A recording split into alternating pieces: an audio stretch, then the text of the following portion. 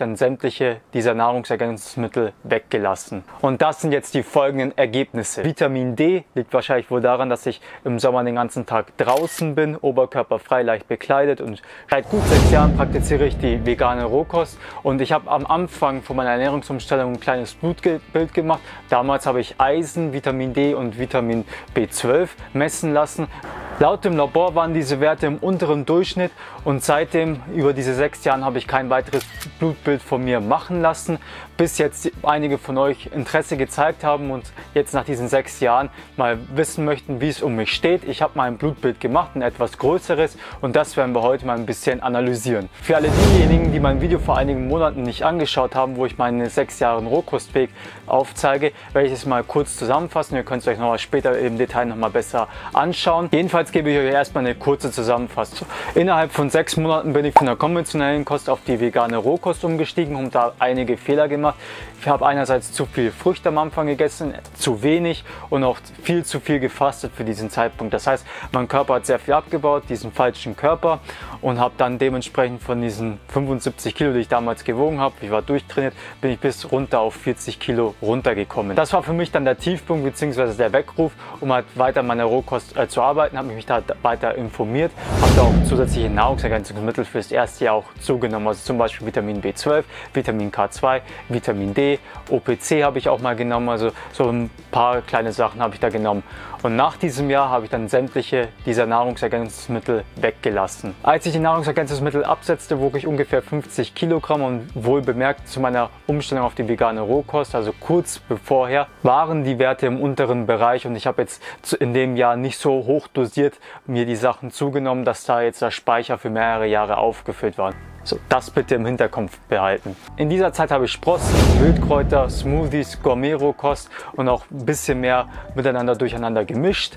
Die Mahlzeiten waren auch etwas größer, damit ich halt erstmal mit der Entgiftung besser klarkomme. In den nächsten fünf Jahren hat sich dann sehr vieles gewandelt. Ich habe ja mein Permakulturprojekt angefangen. Ich war dann sehr viel in der Sonne, sehr viel körperlich aktiv. Ich konnte jedes Jahr immer länger fasten, konnte auch immer weniger essen, habe mein Intervallfasten auf jetzigen Standpunkt auf 20 4 Trockenfasten umgestellt, habe auch Wurzelgemüse Gemüse weggelassen, habe die Smoothies weggelassen. Mein momentanes Essplan schaut folgendermaßen aus, dass ich eine Obstmonomahlzeit zu mir nehme, einen Saft zu mir nehme und am Abend dann ein bisschen Avocado, Gurke und einen Salat esse. Außerdem ist meine sportliche Aktivität mit jedem Jahr gewachsen. Laufen, Krafttraining, die Kampfkunst und momentan bin ich allein mit der Kampfkunst, mit dem Krafttraining und dem Cardio ungefähr vier Stunden am Tag beschäftigt. Das Interessante dabei ist, dass ich meine Fastenzeiten immer weiter ausdehnen kann. Das ist ja zum Beispiel 120 Tage ich immer wasserhaltiger und leichter esse und immer mehr körperlich aktiv sein kann und trotzdem zunehme. Beziehungsweise langsam Muskelmasse aufbauen, diese auch halten und auch nicht mehr so viel Gewicht verlieren, wenn ich zum Beispiel faste. Kleiner Exkurs für euch zum Verständnis. Jetzt schauen wir erstmal da rein, warum ihr überhaupt dieses Video eingeschaltet habt und widmen uns den Testergebnissen. Ich habe mehrere hunderte Euro in die Hand genommen, um drei Tests für euch zu machen. Einen zu Omega-3, einen zum Eisen und einen allgemeinen Fitness-Check. Von vornherein könnt ihr schon mal dafür einen Daumen nach oben geben, den Kanal kostenlos abonnieren und auch gerne eine freiwillige Spende hinterlassen, damit ich weiterhin für euch solche Videos machen kann und solche Selbstexperimente. Kommen wir zu den Umständen, als ich die Tests gemacht habe. Das war dann am vierten Tag meines Saftfastens. Im Allgemeinen, wenn man solche Blutbilder macht, sollte man ja mindestens zwölf Stunden am Stück nichts zu sich genommen haben. Am Morgen bin ich noch mal eine Runde gedreht, bevor ich den Test gestartet habe und zwischen 9 und 10 Uhr hat dann meine Mutter mir das Blut abgenommen.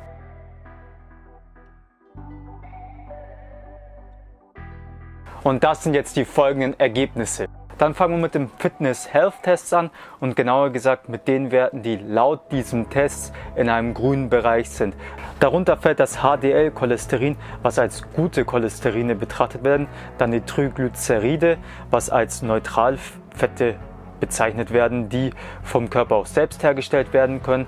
Der CRP-Wert ist ein Entzündungsparameter und bei mir ist er sehr niedrig, was ich als sehr positiv auch erachte. Magnesium ist im grünen Bereich. Vitamin D liegt wahrscheinlich wohl daran, dass ich im Sommer den ganzen Tag draußen bin, oberkörperfrei leicht bekleidet und ständig drei, vier, fünf Stunden lang im Garten mich einfach blindlings sonnen lasse. Der Testosteronwert ist für meinen Ansprüchen nach, beziehungsweise auch nach der App, etwas zu wenig. Da müsste ich vielleicht etwas mehr arbeiten. Und der Vitamin B12-Wert ist auch in dem grünen Bereich. Dann kommen wir zu den Werten, die in dem kritischen Bereich sind. Darunter das LDL-Cholesterin das T-Cholesterin, welches sich zusammensetzt aus den HDL-Cholesterin, LDL-Cholesterin und ein Fünftel von den Triglyceriden und so errechnet sich dann dieser Wert, damit ihr Bescheid wisst. Das Cortisol ist um einiges erhöht, liegt aber wahrscheinlich auch daran, dass ich halt momentan faste und dadurch im Allgemeinen der Cortisolwert durch das Fasten um einiges erhöht. Zusätzlich muss ich gestehen, dass das wirklich mein erstes Mal war, dass ich einen Selbsttest gemacht habe und für mich diese Nadel ungewohnt war, auch für meine Mom. Und nach dem ersten Test, das war der Eisentest, danach habe ich den Health-Test gemacht, also diesen hier. Und da hatte ich dann schon sehr viel Stress in meinem Körper, dann nach dem ersten Test war ich dann ziemlich kalt, Schweiß gebadet, war dann ein bisschen aufgewühlter und alles mögliche und das kann auch nochmal dazu beitragen, dass der Cortisolwert etwas erhöht war.